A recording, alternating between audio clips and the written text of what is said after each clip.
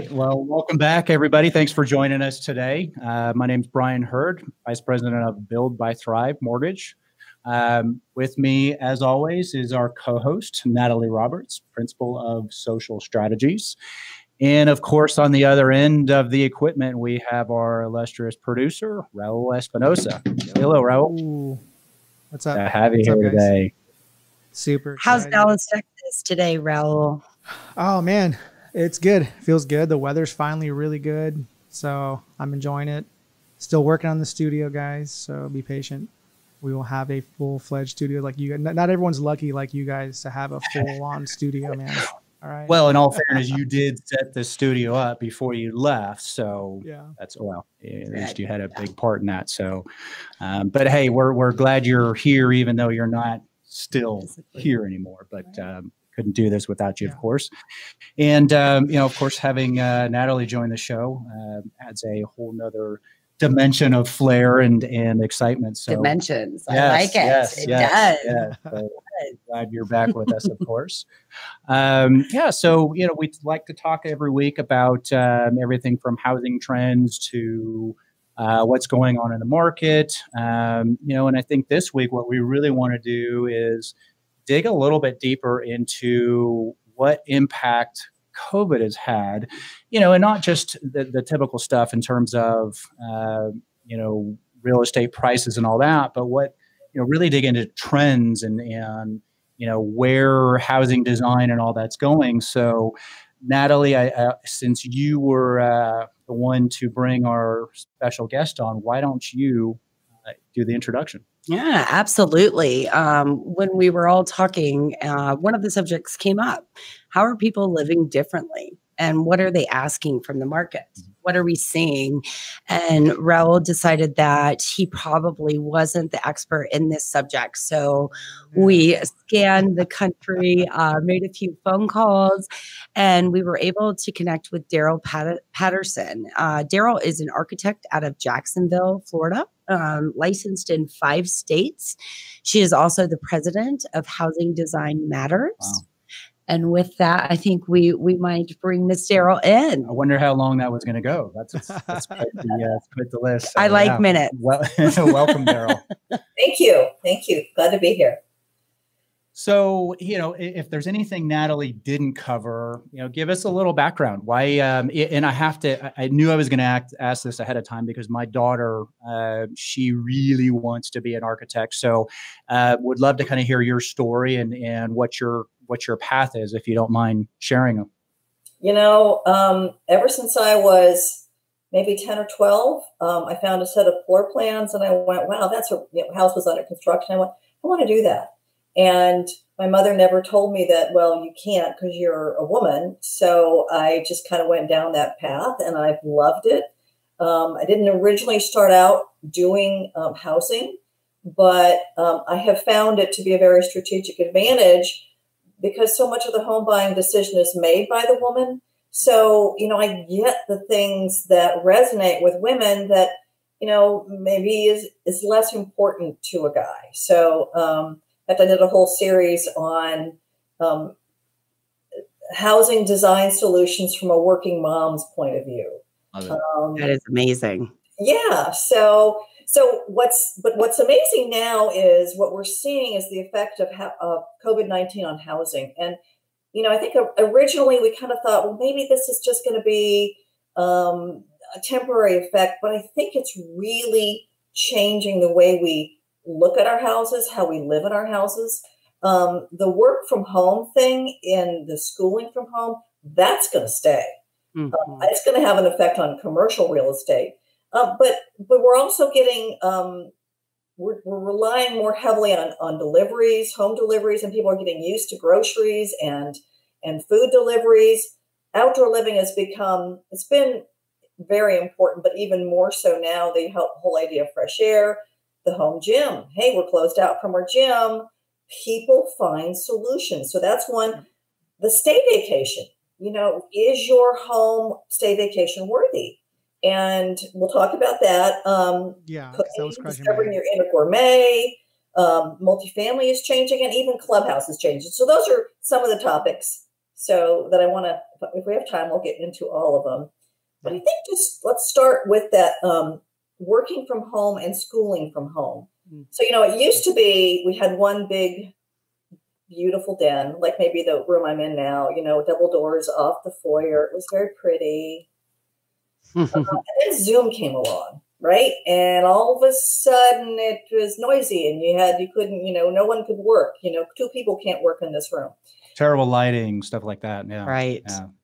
So, and then then wait a minute, you need two dens, one for him and then one for her. Wait now, if you need something for the kids. And if it's more than one kid, then they're different classes. So suddenly this whole work from home dynamic, school from home has really changed. Hmm. We're seeing the opportunity for multiple pocket offices throughout the house. Acoustical privacy has importance. I have barn doors on my office. Barn doors are worthless. yes, I've learned that as well. Sound. Yes, yes, exactly. Eliminating sound. Um, and we're also seeing uh, one of our builders in, in Austin is looking to add the auxiliary dwelling units to the backyard, yeah. whether that's a little schoolhouse or it's just that that, that office. But um, you know, just yesterday I was talking to a builder who says, I'm not going back to the office. Maybe, you know, once in a while for a meeting. He said, I get more work done. I don't get interrupted. I don't have the commute. Um, so yeah, that's a, that's a biggie. So so we're seeing that for sure. That's a, that's a biggie. Um, the increased home delivery. So one of the things that uh, solutions um, that we've come up with at Housing Design Matters is the parcel delivery vestibule, and it's actually an idea borrowed from. Uh, so if you lived up north and you had this like airlock an outer door and an inner door to keep the you know keep the cold air out well it's that same idea only now there's like five feet between the doors so ups or amazon delivery guy opens the first door puts the package in closes the door and off it goes and now it's out of sight and if that vestibule is now air conditioned or heated depending on where you live it's now suitable for grocery deliveries you know maybe you're not home when the groceries are delivered but now they're in, in conditioned space it's great for um, for food. Um, my son uses Grubhub for all his deliveries. I'm like, um, so so those food deliveries. And if you think about um, one of the things COVID's done is made um, seniors not want to leave their home and go into uh, congregate care facilities. So having this this opportunity to receive goods and services without having to leave their home so, um, you know, the groceries for sure, or maybe they just don't want to go out at night because they don't like to drive at night. So, this is going to be, I think, right. a biggie for that. So, Deryl, you mentioned um, vestibules and heating and cooling. A few years back, I, I had the privilege of working on a very forward thinking project that um, were high end, million plus condominiums called the Backyard Austin. And in that, um, one of the top selling features for our buyers was a separate area that did include the heating and cooling um, option with the vestibule. Is that something that you're finding your home builders are asking for? And if so, is it specific to an age demographic? Or, or a price point? Yeah. Well, it's definitely, uh, it's not in the starter homes. Mm-hmm. Um, but we are seeing um, really a lot of people embrace it. At first, they were like, "Wait, what?" And then COVID hit, and they're like, "Oh yeah, we got to have that." And um, I've got one builder who's really excited because he thinks it's that uh, differentiator between him and you know some of these national builders who've been do- building the same old same old thing. And um, we're doing a lot of kind of this you know the pocket offices and the parcel delivery vestibule and he's a new builder new to the town. So it's exciting to see that. So we're going to see it catching on. Um, um, you know the early adopters will be the ones that I think are going to kind of make their reputation on it. So we're excited about it. So we'll see how it goes. And I've seen I, some. I we've got some custom builders that have been doing it in Houston for a few years now, and and it seemed like a really kind of cool, novel idea. But yeah, I mean, you really have to believe that you know if you want you get your beer delivered, you want your beer cold, you know, or or you know let's let's talk about the the amount of theft that's obviously going to come with having everything point. delivered. You know, even if it's not, you know, you mentioned that the starter homes don't have it you know, and having heated and cooled vestibules may be a little bit more of a challenge, but I would expect there's going to be some integration, at least for Amazon deliveries and that sort of thing, to make it a safer proposition. So, um, what, if anything, is is the most surprising Mm. in your opinion in terms of you know where things are headed design wise, or is there anything ex- eh, surprising at this point? um, you know, wow, the most surprising. Um, I think the the whole idea of how we use our homes. So um, part of that is what we call like this sort of stay vacation worthy. We got to make our houses stay vacation worthy because they canceled that trip to Italy. Um, and they took that money and they're putting in pools, they're putting in spas, they're putting in putting greens, um, they're expanding their outdoor living. You know, the whole idea that um, access to fresh air and sunshine um, it, has been really a part of this whole wellness uh, uh, formula. And um, the other thing is kitchens. Um, you know, if you can't go to a restaurant, people are starting to really cook. So um, I hear that you know bread. Uh, you can't buy yeast in the grocery stores because everybody wants to make bread. So we're seeing a lot of remodeling happening. They're getting these high-end ovens that have the proofing uh, feature, so that allows their bread to rise. Um, they're adding the little under-counter refrigerators for their wine. Pantries are getting bigger because they are stocking up on toilet paper. Okay, wait. wait, wait. um, so it's really kind of discovering that inner gourmet as you know people don't like to be locked out um, from things they love so they're they're getting they're finding ways. Um, the home gym is another one. Um, got locked out of the uh, out of the, the gyms. So they're buying peloton they can get them they're they're waitlisted or the Nordic Tracks, or the bowflex machines. Um, and we're seeing you know once you get a peloton the people who have them they love them and they you know they they they get addicted to them so they really love that.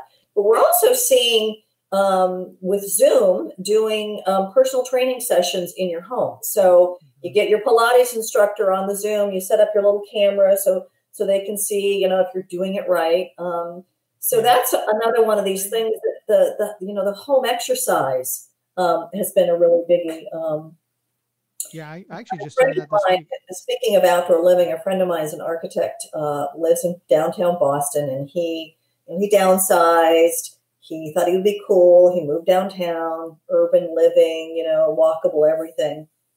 And then the shutdown came and he couldn't go outside. All of the public spaces in his building were shut down and he didn't have a balcony.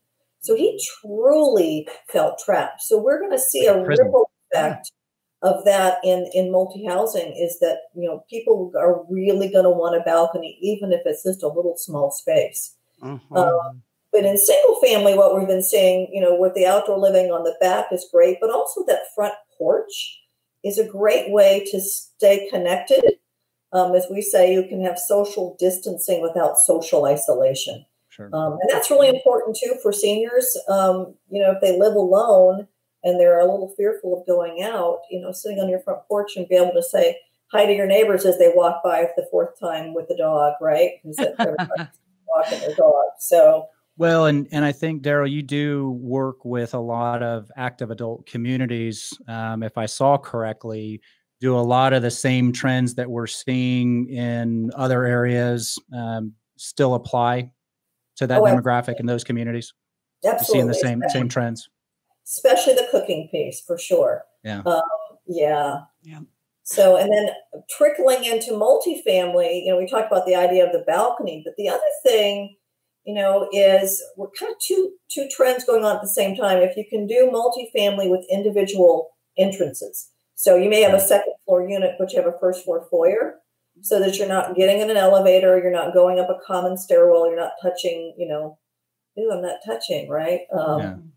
Couldn't Uh, that even be used as well, Deryl? Like, let's take for example, we yeah, I have multiple friends and family who one member of the household has contracted COVID. Mhm. That space could be used potentially for that person to your quarantine, for quarantine, two weeks because there is an access from the from different from Who would have thought we'd be talking about needing an actual That's quarantine space in right. your, in your home? And and, and I, I I don't laugh because it's not a serious issue. Right. It's just ironic that that that's viable. you know a, a It's crazy that viable thing. talking about that now. Yeah. You know, I- that's- exactly right.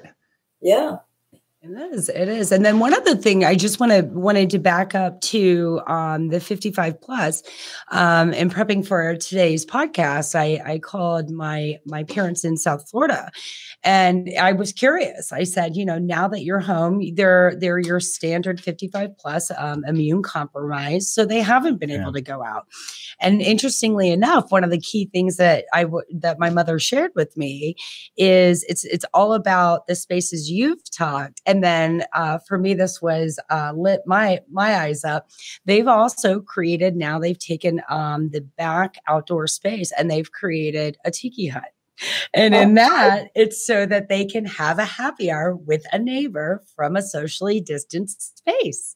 Is it is it a shared sure. tiki hut? It's like they're also she does live in a restricted community mm-hmm. and they have the golf carts and you know and so they're all very careful but it's a um it's a repeating theme now that's going on mm. where if each home has it you can sit in your tiki hut and talk to me in my tiki hut and oh so you each have your own yeah well and it fits perfectly into Deryl what you were saying in terms of you know the staycation and having these outdoor living spaces right. and, and i think used to be just i ah, just have a, a, patio with some some patio furniture and that was it no no no no no we're talking you know really fancy they have a open air and, yeah. and tiki torches with kegerators in them apparently yeah. and, and, and the, you know my neighbors built this elaborate outdoor barbecue grill with all the stone patio mm. and it's it's actually gas and it's stainless steel and it's beautiful and it's you know, it's people are investing in their backyards, and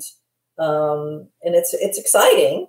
Um, but it's because if you're not going out and you step back and you look around and you're like, I can do better.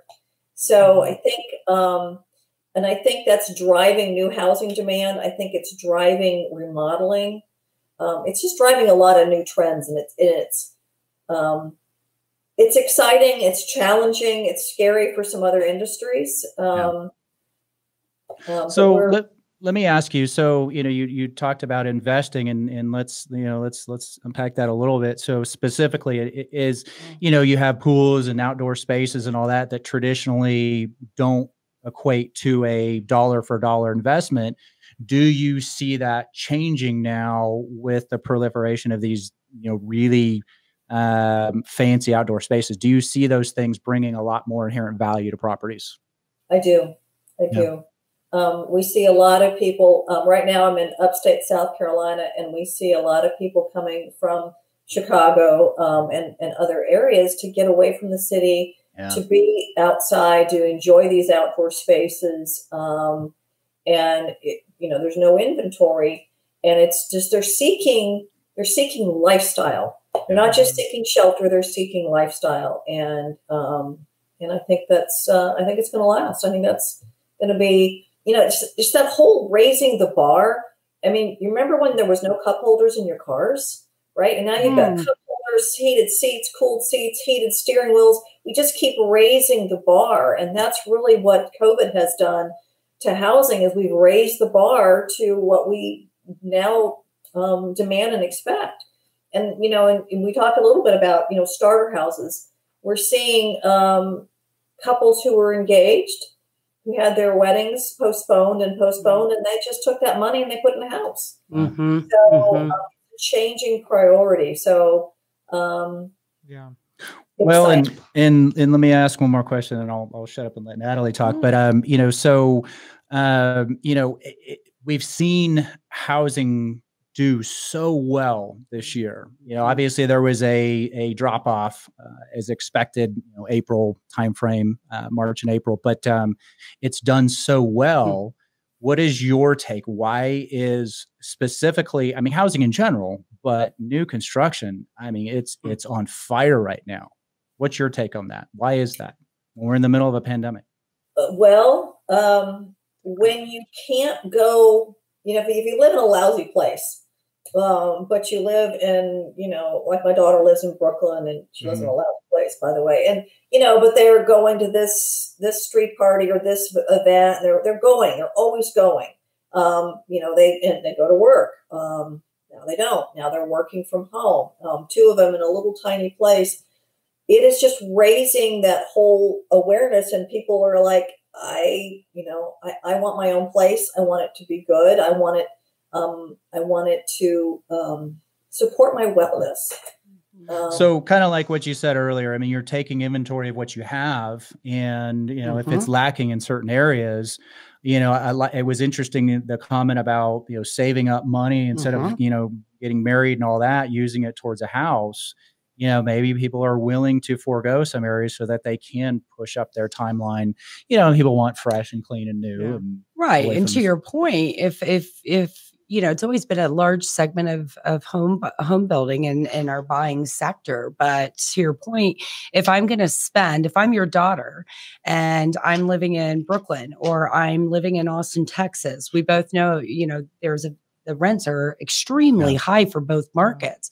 I think it's giving you that space and that time to reevaluate. Do I want to spend 28 $3200 on a space that doesn't work for me. I don't have outdoor living. I can't work out at home. I'm you know the uh, the wall behind me for my zoom meetings in corporate america isn't appropriate.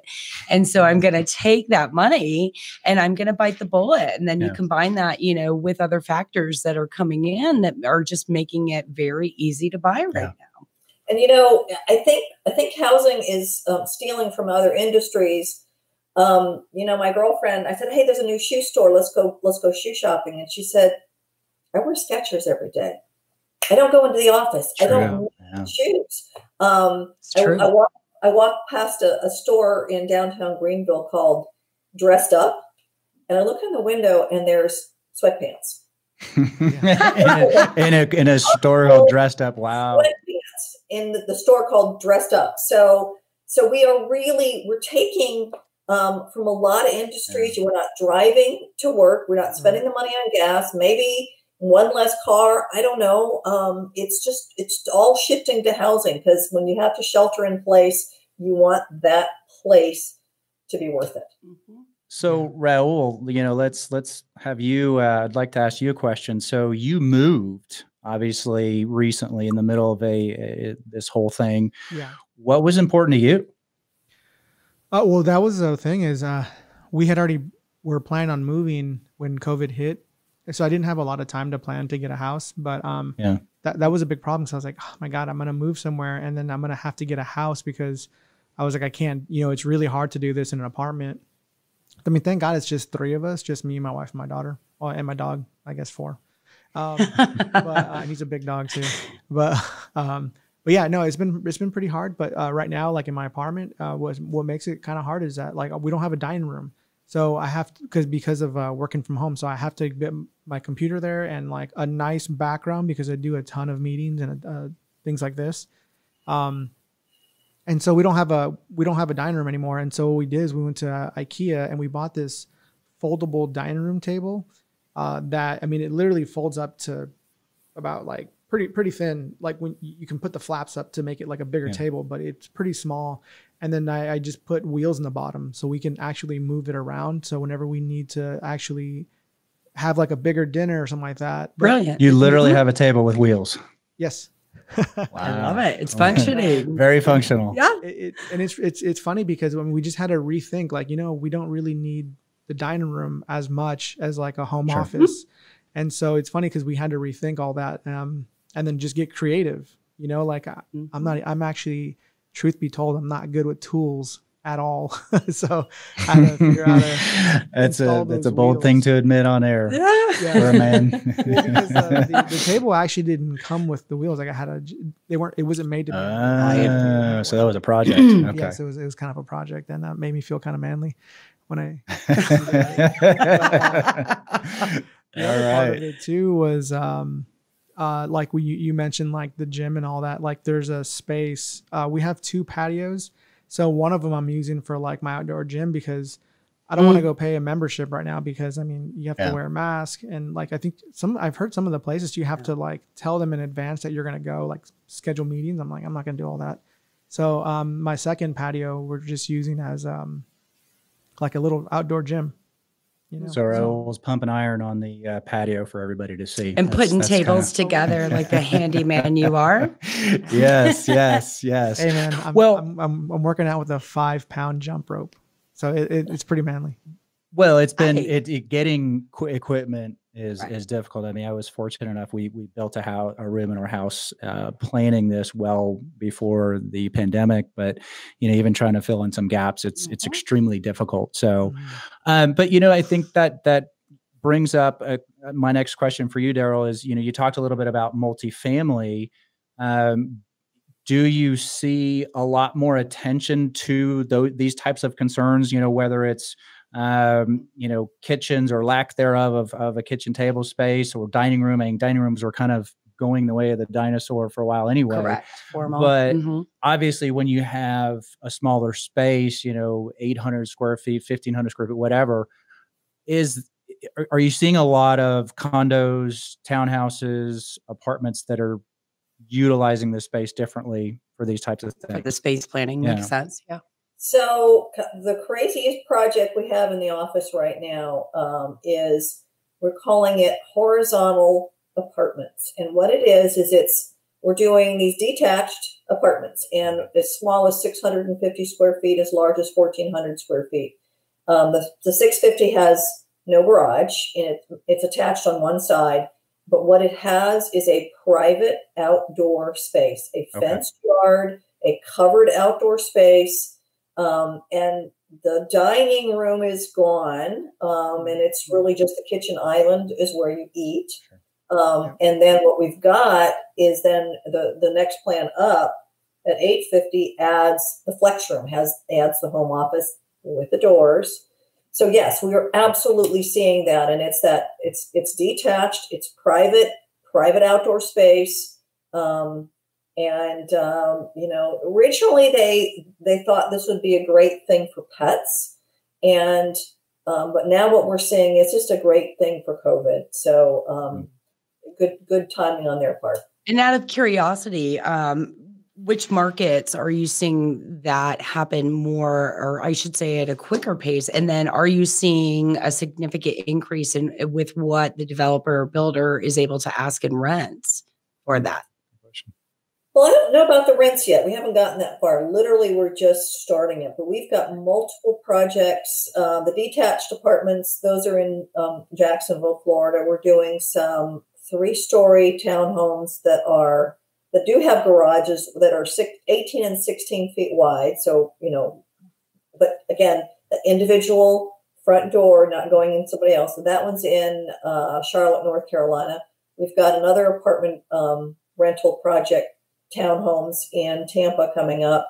Mhm. Um, I've got a client in Birmingham, Alabama, who's doing this. So um, we're seeing a lot of markets, and you know, it's it, when you have a lot of um, change in in the work environment. You know, unemployment, people are changing careers. Um, I just heard Disney's laying off a bunch of people. These people are going to Yeah. go somewhere else, and so Yeah. certainly rental um, is a good alternative for that kind of change in in your your career. Um, and then you add covid to it. Um, so it's just it's an interesting it's an interesting dynamic but um, we've seen Yeah. examples in in uh, texas um, of these um, these detached apartments seen it in phoenix so i think you're going to see it in a lot of places Well, that brings up the point. Great point on that one. Um, it was a week or two ago. I was out in Sacramento, and um, it more with um, falling in the cross modular housing side. But in that, I was surprised when we were touring the market and we were looking at what's currently available, which is almost next to nothing. yeah It, it was um, shocking even to worse see. because of the wildfires but yeah. With and well and then their um california is up 36% with sales Yeah. year over which you know similar to austin being up 60% the markets you're in Deryl we're just seeing this significant just can't build increase. quick enough no one of the big one of the factors in um, both single family residential and in cross modular which surprised me that it is crossing over are adu units in the Yeah. backyard and Yeah. it's it's threefold it's you know it's most likely more than that it's home office it's school it's potential income for somebody who may be nervous that is my job secure? Have i been furloughed? Where am i at in this? And then it could be the workout. So you're we're i think we're finding that and could that potentially be essentially the um the apartments that you're talking about? It's really just taking that concept and putting Yeah. that out across markets. But with the ADU units, my long-winded point is I was um, wondering where this was actually going to get to. Are you finding I, ha- I have to go around the block to get there, you know Couple this. um, are you finding that builders are offering this as part of their programming in ADUs, you mean? right Yeah. correct Yeah. we do have one builder in in Austin who uh, they build in Austin and San Antonio that are it's part of that. They're they're doing it. They're offering it. They're showcasing it. Now that begs the question: How much space do you have in your backyard? Yeah. Um, Mm. As lots and land, you know, lots get smaller, land gets more expensive. So um, not everybody can do it. But we are seeing in, um, and maybe you saw this in uh, in Sacramento, you know, an existing neighborhood that has a big backyard. Um, uh, from a modular standpoint, there's one um, builder developer who builds these things modular and then they lift them over the house Mhm. and put it in the backyard as, as a unit. Now, uh, I think think that was in Portland um, or in Seattle, but the challenge is um, there's a lot of municipalities who won't allow that. Which is Uh, a big issue. I mean, we we have a a monthly coalition, so to speak, on manufactured and, and modular, and, and ADUs are specifically a really sore topic in markets, specifically like Seattle. So yeah, it, it it doesn't surprise me, right but it's so needed. Yes, for sure. And you know, I think the other thing that we haven't mentioned is that this. Uh, you know, a couple of years ago, or maybe it's more than a couple. Lennar came out with their um, the next gen suite, and it was Mm. um, that Yeah. that opportunity for mom and dad to to stay in the house. Um, it is a more expensive, makes the house more expensive. Yeah. Um, but I think nobody really is excited about putting their parents in a senior care facility right now. So I do think that Yeah. those dual generation suites are going to really resonate. Um, they do well in California. They don't do as well in other markets. Um, part of it is ethnic. Some Mhm. ethnicities really are good with mom and dad being there, um, and others maybe less so. So, you know, just sort of a cultural family tradition. So, um, I think you're going to see those. And, you know, when the time comes for mom and dad to move out, it does become a great home office space. So, um, great point yeah, so I think there's a, I think that's going to get some some fresh new legs. Um, Ro, you look like you wanted to ask something a few minutes ago, so uh, you didn't forget. He was his lips were pursing. Were he, was, he, was, he was ready. Were you getting excited I'm- I- over it's there? going to and be something really good. I hope so. Oh man, Go I for it. forgot. No, He forgot. Well, there was a point with Raul too, where I did see you perk up when we talked about staycations and that staycation being at your home, right? And creating Yeah. that space. No, you know, you know. I mean, there was a there was a couple of things I wanted to jump in on, but one one of them actually, um, uh, well, the staycation thing for sure uh, has a, uh, also um, kind of affected me as well because we did have plans to go. Uh, we had uh, tickets for two trips, and so now we're, we're we have to figure out what to do before December before those expire. But but yeah, no. Um, the other thing I was gonna say was um, um, one of the things that I think a lot of people are doing right now, because you touched uh, on Deryl about um, a lot of like um, Grubhub and things like that. A lot of people are doing like working these jobs now because we we can now work these jobs after our jobs, Mm. and there's not like a big Yeah. interview process and and so one of the things that really motivated me and my wife personally is since this whole thing started is um, we've been doing DoorDash on the weekends at nights, and uh, for to actually save up for a house and pay off our debt and stuff like that. And it's actually really good money, and it doesn't really affect our um, you know our normal jobs either. And so uh, that's So one of the main things. The Yeah. main motivator was like, the next quarantine we're gonna be in a house, and then the second thing was Ah. like, gonna Let's not say next. Like, like, yeah, don't put that Let's in the just universe. say once please. this thing whole abates, then Deryl's be in never coming back because you said that. and you, bro, you made the point. Is is oh my gosh, I want to get out of this, Yes, whatever this is, and if I'm going to shelter in place, it's going to be a good place, Yep. and it's going Yep. to be a place that is going to help my family nurture and live and grow together. And Yes. um, yeah, know. no, Right. and and I don't mean to say like yeah next quarantine, but it, but We know what you meant. Oh, but the thing about it though too is like you know, it, it, was it was kind of like a, oh man, like we got this new apartment. Like normally we're pretty excited about that, but it really was like, oh man, like we don't have any space anymore. Like it was supposed to be kind of a temporary thing, but now sure. it's just been kind of like, oh man, this is like longer than expected. Uh, but I mean, th- that definitely is the main motivator is the mm-hmm. quarantine. Is like we, go. we got to do something about this. We need multiple uh, offices.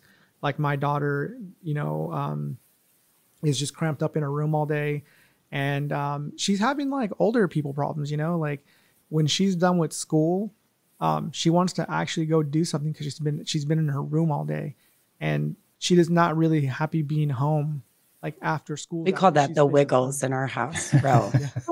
Old people problems, wiggles. No, he's 11 and 43. Yeah. We, got, we got multiple generational wiggles. Yeah. Just all sorts of like older people problems. I think like her eyes are all blurry because she's uh, been staring at the screen, screen. all day. Uh, all sorts of stuff. Well, look at time management. I mean, you know, it used to be uh, school generally is be here in your chair. We will tell you what to do.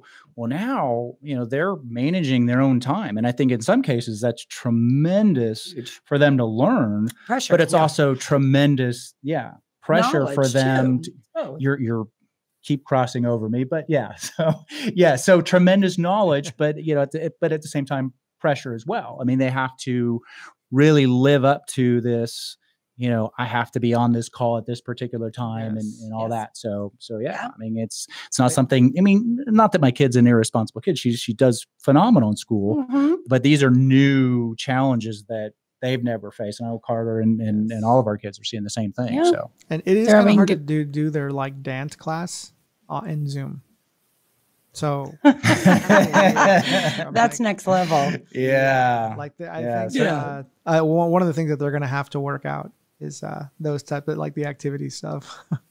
hmm. Yeah, I don't know if Carter could do football over Zoom. That would be a little. Tough. No, no, but we start. But... We're starting the socially distanced sport of tennis next ah, week. So um, I think to your point, Deryl, and how we're all changing. It's changing on every level of life, for every age of life, and in what we're choosing to do, and even the sports we play as children, or what you know, how we communicate in a home with our family. Um, I can tell you from a personal perspective, I have connected more with my family now because yeah. of COVID and because we were able to get the aunties and the uncles into this into this century yeah. and get them on yes. Zoom. And so there's a lot of positives that have come from COVID and and, and connection. Um, I think we're learning how to connect in new ways that we never thought. But when we don't live in the same state, we're connecting more than we previously did. I believe.